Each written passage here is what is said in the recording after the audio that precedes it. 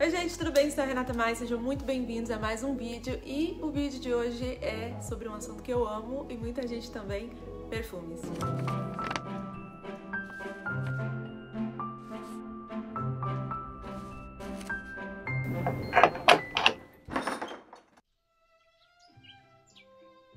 Hoje a gente vai falar sobre perfumes icônicos. Você já parou para pensar o que torna um perfume icônico icônico? Quando você tá pensando aí, já deixa seu gostei, se inscreve no canal se você ainda não é inscrito e vamos lá pro vídeo. Quero começar esse vídeo citando nada mais, nada menos que Coco Chanel que dizia que a mulher que não usa perfume não tem futuro. É uma frase ousada, né? ainda mais vindo da responsável pela criação de um dos mais memoráveis, icônicos perfumes, porque quando a gente fala de clássico, é difícil não pensar no Chanel 5, né, que causou uma revolução no lançamento em 1921, dando início ao movimento que vinculou a moda à perfumaria. E a ideia de Coco Chanel era que fosse criado esse perfume de mulher com cheiro de mulher. E Marilyn Monroe, quando questionada sobre o que ela vestia na hora de dormir, ela disse apenas duas gotinhas de Chanel 5 e desde então esse perfume se tornou referência como um dos mais sensuais da história da perfumaria. Hoje, depois de mais de 100 anos da sua criação, ele ainda segue na lista dos mais vendidos perfumes do mundo. E é muito interessante pensar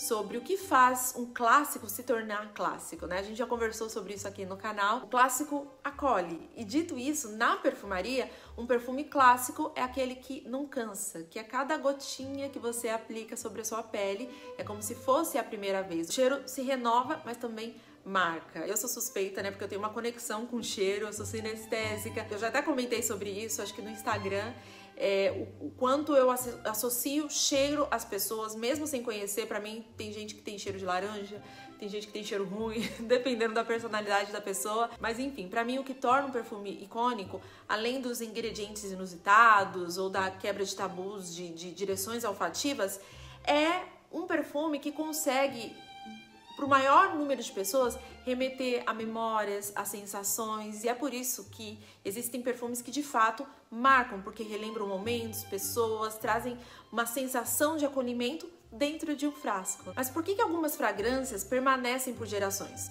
Uma das explicações é o senso do timing perfeito de certos perfumistas quando lançam o cheiro certo no momento certo. É um apelo atemporal que está ligado àquela, àquela fragrância, né? Como o Chanel 5. Por exemplo, o perfume Dioríssimo, criado por Christian Dior, captou o clima de romantismo dos anos 50 e bombou né, nessa época e se tornou um ícone. E por que isso acontece? Porque as nossas memórias olfativas elas ficam no mesmo lugar do cérebro, o hipotálamo. Então a gente tem a ligação do nervo olfativo no mesmo lugar que essas memórias. E é por isso que quando a gente sente algum cheiro, a gente se emociona muitas vezes. A gente sente saudade por um cheiro, porque os cheiros estão ali juntos, né, no mesmo lugar, com toda a emoção é, e lembranças do que a gente já viveu. Muitos hotéis, né, inclusive, tem uma fragrância específica que eles vendem para os hóspedes porque causa uma sensação de lazer, de férias, de bem-estar que eles gostam de carregar para casa. Então, resumindo, antes de falar os top 10 icônicos, né? É, o que torna um perfume clássico, é, resistente ao tempo, é uma série de quesitos, desde o frasco, que é visual, ao cheiro, que é sensorial, e essas criações perfeitas que misturam o timing certo que ele foi criado, né? A inovação e o cheiro resistem ao mercado e todas as suas oscilações por anos e anos, se tornando best-sellers. E agora eu vou compartilhar com vocês a lista dos, acho que são 11 perfumes considerados mais icônicos do mercado, tá? O primeiro, como eu já falei, é o Chanel 5, que é um perfume atemporal, lendário. O Chanel 5 é mundialmente conhecido como a fragrância mais conhecida de todos os tempos, com seu frasco icônico, né? Tem um designer ali minimalista. Foi lançado em 1921 e o número 5 é o símbolo da feminilidade. Ele é um perfume que apresenta notas de uma flor rara chamada Rose Centifolia, acho que é assim que pronuncia. E essa flor só é cultivada na França. Em segundo lugar fica o Chalimand da Guerlain e o Chalimar é o nome do lugar onde o amor do príncipe Shah Jahan pela princesa, isso mesmo. Essa história de amor inspirou o Guerlain, Jacques Guerlain, é, para criar essa fragrância, né? É uma escolha popular de perfume para as mulheres desde 1924 e continua a ser um aroma que ultrapassa o tempo. Em terceiro lugar, temos o L'air du temps. Olha, eu gastando todo o meu francês aqui. que significa ares do tempo e é uma expressão usada para pessoas que estão à frente do tempo. A história desse perfume é que Robert Rich criou essa fragrância em 1948 para mulheres que estavam enfrentando ali o pós-guerra, que estavam envolvidas em projeto, mulheres com a mente mais aberta, é, que estavam buscando aprendizado e acabou que esse aroma ganhou é, o gosto de muitas mulheres da época e se eternizou. Quarto da lista é o L'Interdit da Givenchy e L'Interdit L'Interdit foi é, a primeira fragrância criada pelo designer Givenchy em homenagem a Audrey Hepburn e só foi divulgada a público três anos depois, em 1960. O estilista foi lá, apresentou a fragrância exclusiva para Audrey, falou, perguntou, né, gostou? E ela respondeu, Je vous l'interdis.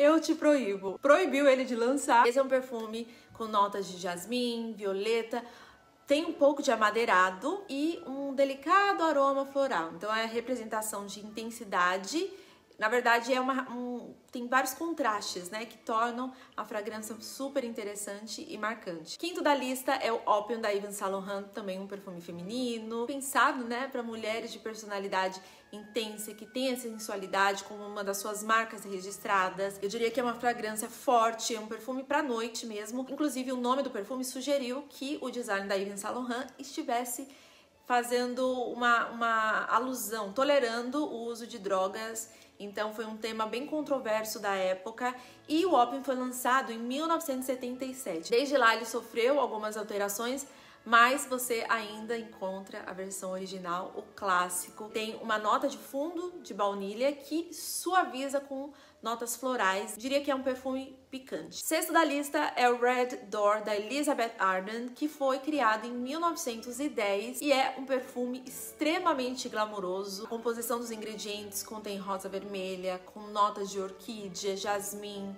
lírio do vale. É uma, uma fragrância bem floral, uma das minhas favoritas, tem muito requinte, ao mesmo tempo é sensual, é fina e elegante. Sétimo da lista é o Angel, eu acho que esse todo mundo já experimentou, né? Esse perfume foi um marco, todo mundo, eu lembro, eu nasci em 87, né? E ele foi lançado em 1992 e todo mundo falava desse perfume. É, ele foi o primeiro, a primeira fragrância que foi feita com ingredientes para comer. Tem até chocolate na composição. Ele foi formulado sem a inclusão de nenhuma nota floral, gente. O frasco é icônico também, né, no formato de estrela lapidada. É um perfume sensual, né? E ao mesmo tempo bem doce. O oitavo da lista é o One da Calvin Klein, com uma é, mensagem unissex, né? Foi lançado em 1994 como um perfume neutro, exatamente para exaltar essa mensagem, é, para celebrar a diversidade, deixando no seu aroma a mensagem de que não existem estereótipos, inclusive para perfume, né? Foi um marco aí também. E esse aroma, eu diria que ele é um, um, aroma mais limpo, mais contemporâneo. Você vai encontrar notas de abacaxi, papaya, jasmim, violeta. É um aroma que representa mesmo um equilíbrio. Ao mesmo tempo que é sensual, ele é leve. Eu gosto bastante. Nome da lista é o Jadot. Jadot é uma fragrância que as pessoas descrevem como moderna, eu discordo plenamente. É um dos meus perfumes menos preferidos, eu até falei em outro vídeo. E desde esse lançamento, gente, não sei porquê, mas virou um best-seller global. Ele tem uma, um apelo bem feminino, né? Tanto na apresentação da fragrância quanto é, na própria composição. E por último, mas não menos importante, o Eau de Cologne se tiver errado, pode me corrigir aqui embaixo, tá, gente? Nos comentários. Enfim, essa fragrância é considerada a mãe de todas as fragrâncias, né? Por ser super tradicional.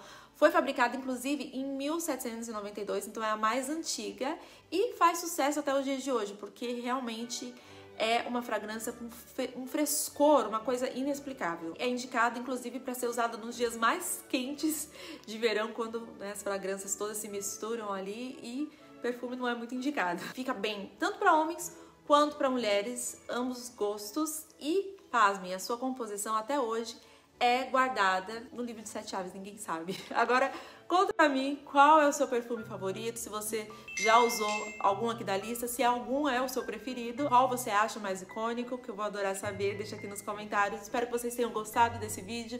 Se gostou, se eu ajudei, clica no gostei, se inscreve no canal, a gente se vê no próximo vídeo. Um beijo, tchau!